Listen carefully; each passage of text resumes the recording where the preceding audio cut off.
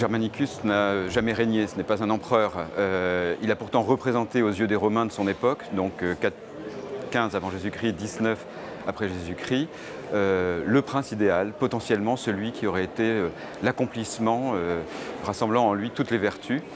il y avait donc tout lieu de s'intéresser à ce personnage. Mais si aucune biographie ne lui a encore été consacrée, c'est probablement parce que l'on sait peu de choses, car à l'opposé de l'idéalisation dont il a fait l'objet, le nombre de sources et d'informations précises que l'on a sur lui sont assez rares. Hein. du moins euh, entre le moment de sa naissance, 15 avant Jésus-Christ, et le moment de son adoption euh, par l'empereur Auguste en 4, donc euh, pour les 19, disons la vingtaine d'années entre sa naissance et, l'âge adulte, on ne sait que très peu de choses. Donc je pense qu'il y avait là un élément dissuasif pour écrire une biographie. Euh, ensuite, il apparaît en pleine lumière dans l'œuvre de Tacite, mais on ne dépend que de Tacite. Comment donc se lancer dans euh, l'entreprise euh, en se dégageant de ce prisme, de cette seule approche qui est l'œuvre de Tacite? Donc, ça m'a semblé deux obstacles à surmonter qui faisaient sans doute l'intérêt de l'entreprise.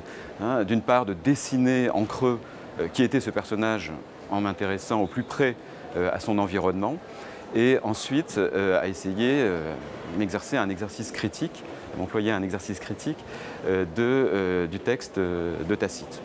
Je pense que, comme son nom l'indique, il le tient de son père qui avait failli, peu d'années auparavant, envahir et soumettre la Germanie pour qu'elle devienne une province romaine.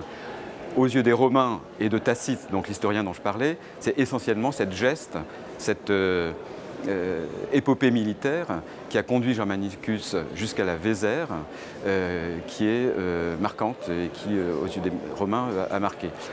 Ensuite, comme je vous l'ai dit, c'était un personnage qui a été idéalisé par les Romains, qui rassemblait tout un tas d'attentes et, d'espoir. et il meurt donc à 34 ans, foudroyé par euh, le poison, dit-on à l'époque, euh, de son adversaire, euh, Pison, un légat de Syrie avec lequel il était en conflit. Et en réalité, ce serait de maladie que ce prince serait mort. Or, un dernier mot, on tient une documentation tout à fait exceptionnelle pour l'Antiquité le concernant. Une série d'inscriptions sur bronze de textes officiels ont été découverts qui fait euh, très rare pour l'Antiquité, donne accès aux archives euh, de l'époque, même si elles concernent, je le répète, la mort du personnage, le verdict de son empoisonneur supposé et les honneurs funèbres euh, qui lui ont été consacrés.